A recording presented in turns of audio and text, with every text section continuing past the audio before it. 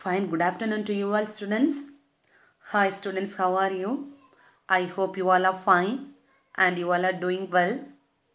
I hope by God's grace you all are safe. Pray to God for your health and your parents, your studies and everything students. So welcome to our today's online class students. So now we are studying about which chapter? Chapter 2. What's the title of your chapter students? Data abstraction. Okay. So before I'm going to take about today's class, just recall what are things you have taught at the last class. So what are the things we have studied in the, that means last week class. So what are things you have studied in the last week class? So define ADT. Abstract data type you have studied, isn't it? Very, very important two mark question I said. Then define abstraction. Very, very important two mark question I said. Then define constructor and selector. Important three mark question. Then define abstract data type with example constructor and select selector. Important five mark question. Then define list. Then define pair. Then list how you are access. You need to access the elements. The list two ways you have studied, isn't it? So this much of questions you have studied in this chapter. So what are the questions I am telling? No. So this and all expected questions for your annual exam. So what are the questions is mostly I'll talk about your annual exams only. Okay. So please students daily I used to take maximum three questions. So please students after completion of this session so each day portions you study thorough. So if you are studying like this surely I am telling you can score center mark in this subject. Understood students don't waste time. Okay. So today also you are going to study one important question. So first one is tuple.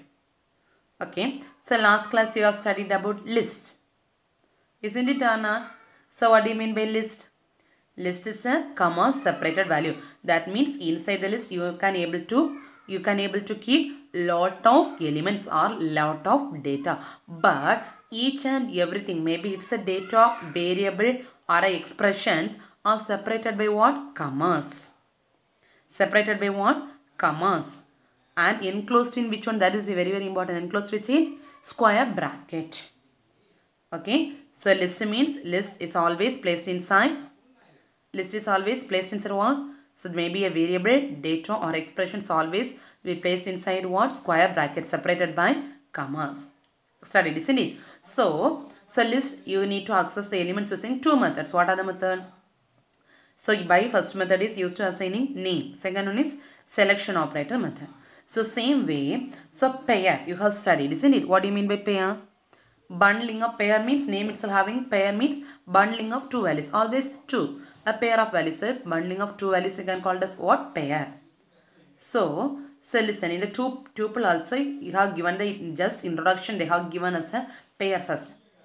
So what do you mean by pair? So pair is a pair is also a one kind of data type just like a list and tuple. So pair is also a one kind of data type. So pair always holds how many pieces of data students? Two pieces of data. Okay, pair always used to hold, pair means you know always two. So pair always used to hold how many pieces of data? Two pieces of data. Okay, so here also pair also you can able to so represent in it two methods. So you can also able to represent pair as how many methods? Two methods. Okay. So first way using which one means list you can construct. Okay. First way you can able to represent using what? List. Okay. Second way using what? Tuple. Understood? So pair, sorry. So what do you mean by pair? A bundling of two values. So you are going to combine two values. So always the pair will contain how many pieces of data?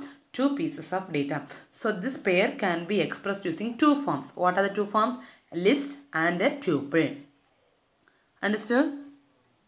So now it's this is a definition of a tuple. See first one is there no that's the definition of tuple. Very very important two mark question. What do you mean by tuple? So tuple and that is um, list is a almost the definition becomes same. Only one difference. So please listen carefully. What's the difference? A tuple is also a comma separated sequence of values. List also you studied list is also a sequence of comma separated value surrounded with one or enclosed or surrounded with square bracket. But here tuple is a so tuple is also a comma separated sequence of value surrounded with parenthesis that is very very important. There list means surrounded with which one? Square bracket. Then tuple means surrounded with one? Parenthesis understood the first point? What's the definition of a list you can write? List means it's a comma separated value. Separate surrounded with one? Square bracket. Tuple is a comma separated value surrounded with one? Parenthesis okay so this tuple and list is almost similar. Similar means same. What's the main difference between this list and tuple mean? So once you have defined the elements inside a tuple once. Okay so you have defined lot of elements inside the tuple and the list. Okay but inside the tuple you cannot once you have defined means it's a that is a stationary. You cannot able to change. So once you have defined the elements inside the tuple mean you cannot next time you cannot able to change the element. But in a list the elements can be changed as per your wish you can able to change the elements. That's the main difference. So this also they will ask the for maybe sometimes they will ask book inside question they will ask uh, what's the or list the difference or what's the difference between the tuple and the list? So what's the difference between the list and tuple so once you have defined the elements inside the tuple means you cannot able to change the element. But if you have defined the elements inside the list means you can able to change the element. See the example? So inside the parenthesis you are representing three elements. What are they? Red blue and green. So each and everything is separated by what? Commas. So red comma blue comma green. So enclosed within which one parenthesis that is bracket. But if you need to represent in a list means you need to enclose which one square bracket. Understood? So here define list. Very very important two mark question. Define tuple very very important two mark question. Define pair. Very very important two mark question. This and all expected questions. Understood? Okay. So listen next one is representation of tuple as a pair okay? So the tuple value also you are going to represent as a one pair.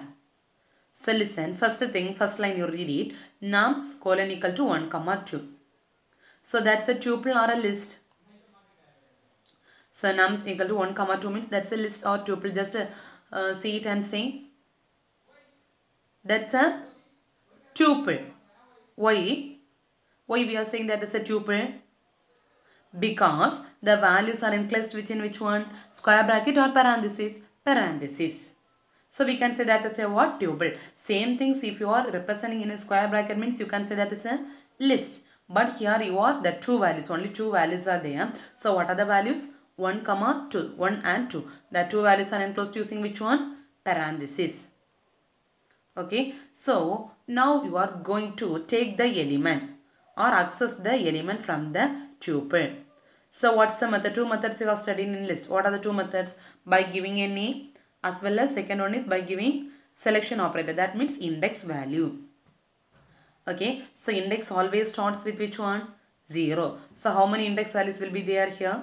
2 what are the 0 and 1 so how you need to access using a that name of the tuple along with index value. So what's the name of the tuple here? Nums. N-u-m-s so name of the tuple nums of what's the first index value? 0 so always the index value needs to be enclosed within which one? Square bracket. That is very very important. Even you are going to access the elements in a tuple. So you should give the index value inside which one? Square bracket. So you need to give nums of 0 so what value you will get? 1 then nums of 1 so what's the first index place value? 2 understood understood? Okay. Then so next one is data abstraction in structure. Okay so next you are going to study about structure. So the structure concept you have studied in 11th also.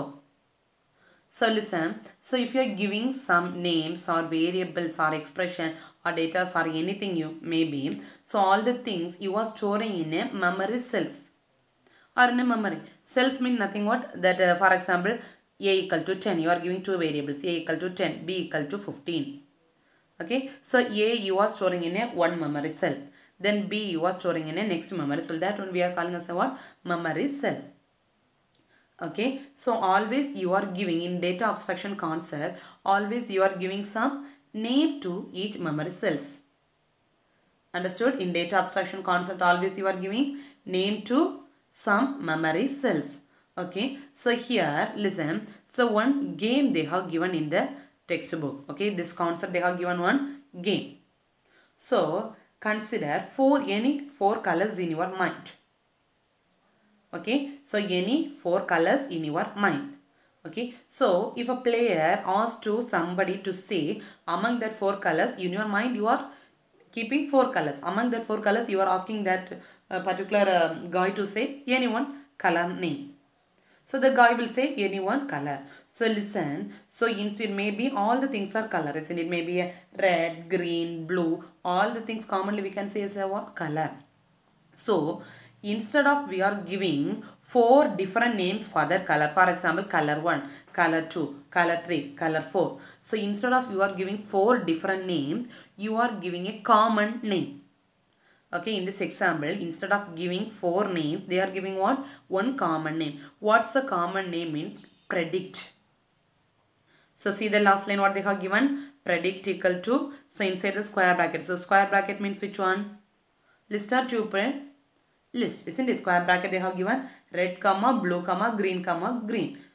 Okay? So instead of you are going to represent four different for example you need to give a equal to red b equal to blue c equal to green then d equal to green. So instead of you are giving four different variables so all the things you are giving inside a inside a single variable called what? Predict Understood what I mean by structure? What's the use of structure? Mainly what's the use of structure mean? Instead of you are giving separate separate names, so you are giving all the things in a one separate variable. That is called what structure? Understood? So in this example, they are giving four different colors. So instead of giving four different colors in a four different variables, you are giving in what? One separate variable called what? Predict. Understood? So listen. So that kind of examples you can say that uh, color for different colors you can given as a common name. So in a textbook they are selling but some kind of variables you cannot able to give as a common name. For example, listen, you are going to write a basic details for a particular person. Basic details for a particular person. Okay. So what are the basic details the person will come for example? So if, if you are going to fill an application form or anything means what are the basic details you will fill? First name, last name, email ID, phone number, address, gender, etc. etc. Isn't it? So all the things whether you can save inside a common name because first color means all the four things are color only because the first place it will represent the first name of the person. Second place it will represent the second the last name of the person. Third place it will represent the phone number. So you cannot able to represent all the things as a common name. Just you are, before you are studying you know the colors you are given in a same common name. So if you are representing some kind of things no means you cannot able to represent as a common name. So to avoid that one you are using a concept called what structure. And so to avoid giving us uh, that uh, confusion for that one. You are using which concept? Structure. Okay? So here you are going to give a example called person. So what are the details they have given inside the person? You are going to write a first name last name email id etc so all the things you are giving an a common name called person. That's a structure name. So what's the structure name what's the structure name now? Person. So inside the person structure so you are writing a function. So what's the function? Creation of. See that diagram? So you are writing a common structure name called person. So inside that person structure you are writing another one important function. So what's the function name? Creation of. So inside the function you are writing what? All the details of the person. That is first name last name id email etc understood so see this first line, person equal to, they have given, what's the first name, uh, first represents first name, Padmashri, second, then last name, Bhaskar, then represent, then email ID or phone number, uh, ID, understood? So all the things they have given in which a common name called person.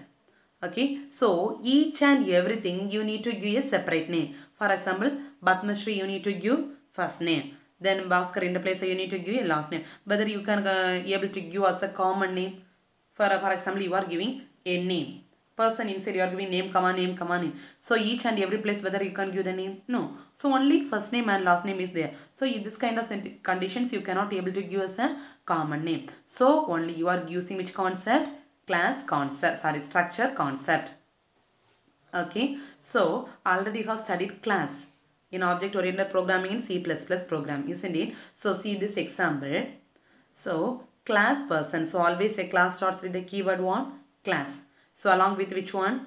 Along with which one? Class name. So what's the class name here? Person. Okay. So inside the class you are giving a function. So what's the function name now?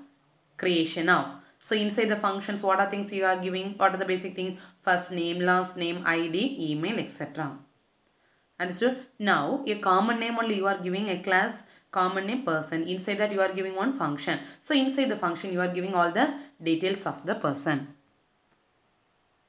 so now what are the details you are giving inside? So all the details automatically it will store. See, listen. So consider the last year C program. So inside the main of function, if you are using the class concept main, so you have studied, you should create one object for the class, isn't it? Is it true or not? Last year you have studied, no? So if you are using the class concept means always you should use which one? Create object for the class. So what's the class name there? Person. So for the class person you are creating object called what? P1. Understood? So what's the first line? CP1 equal to person of. What's the use of that one? You are going to create a object. Then first name equal to Padmashri. What's the meaning? You are going to set the field. That's the name of the first field. Then last name means you are going to setting the field for the last name. Then ID you are going to setting the ID for the particular field. Emails what you are giving. So you are going to setting the email for that one. Okay. So in this example you can say which one is a class which one is a class? Person is a class. So what's the other name of class? They are giving structure. Okay, so what's the name of the class here? Person. So if you are using the class concept mean, you should always, you should create which one? Object for the class. So which one is the class here? Person is a class. So which is the object here now? So which is the object here? P1 is a object. So we can say the object is a instance of a class, isn't it?